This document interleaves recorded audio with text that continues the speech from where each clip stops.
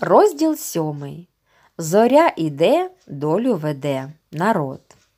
Під осінніми високими зорями затихають оселі, і тепер стає чутнішою мова роси, напівроздягнених дерев і вчорнілих, задуманих соняшників, що вже не тягнуться ні до сонця, ні до зірок. Мене все життя ваблять і хвилюють зорі, їхня довершена і завжди нова краса і таємнича мінливість, і дивовижні розповіді про них.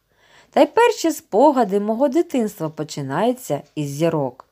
І тепер, проживши піввіку, я згадую далеке вечірнє стависько, потемнілі в жалобі трави, що завтра стануть сіном, велетенські шоломи копиць, останній срібний дзвін коси і перший скрип деркача і соняшник вогника під косарським таганком, і пофоркування невидимих коней, що зайшли в туман, і тонкий посвист дрібних чирят, що струшують зі своїх крилиць росу, і дитячий схлип річечки, в яку на все літо повходили м'ята, павені вічка, дикі півники та й не журяться, а цвітуть собі.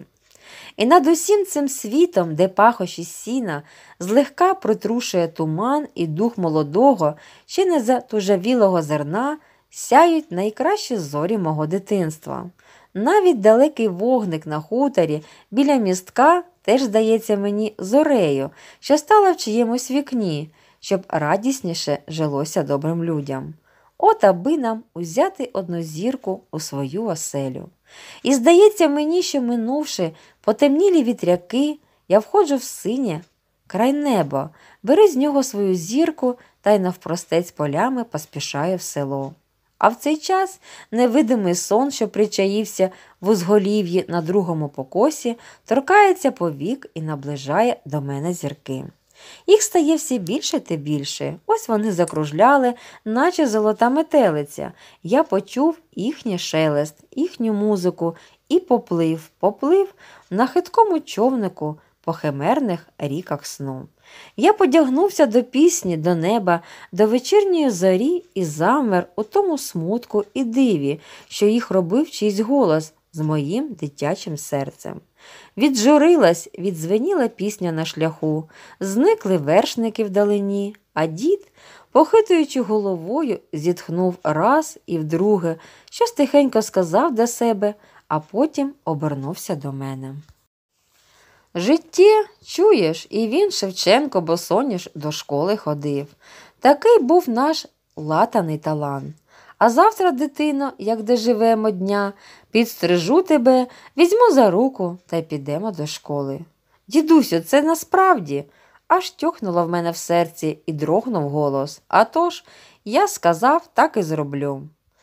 І книжку мені купите, в надії, прикипів я очима до дідового обличчя. І книжку тобі купимо, і чорнила з бузини зробимо, і на крамну сорочечку розстараємось, а потім гляди, на чобітки розживемося, підіб'ємо їх підковами, будеш іти, ми же люди, і вибивати іскри. Справді, вірю і не вірю, що стільки щастя може прийти одній людині. Я вдячно прихиляюсь до діда і між зорями мого дитинства розшукую вечірню зорю поета, що буде мені сяяти все життя.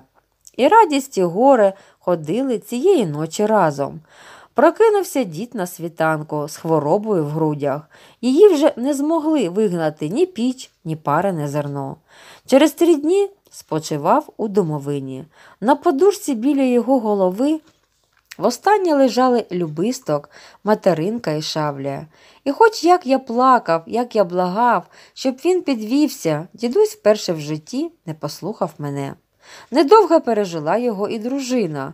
Тяжко засумувавши, вона злягла, а коли почула свою смертну годину, підвелася сама, вибіліла стіни, помастила долівку, принесла з городу прив'ялих чорнобривців, купчаків і паністки розкидала по хаті і звеліла увечері скликати рідню. При поганенькому бензином заправленому сліпаку востаннє вечеряла зі своїм родом бабуня. І, хоча її думи і очі вже летіли в небо, ніхто не вірив, що вона прощається зі світом. адже і мастила, і прибирала сьогодні в хаті, і нічого, крім душі, не боліло в неї. Та, напевне, біль душі найстрашніший біль. Через день бабуню поховали поруч з дідусем. Рідня і осінний день плакали над її могилою, а із цвинтарної груші в могилу впала грушка. Напевне, для того, щоб бабуня і на тому світі садила сади.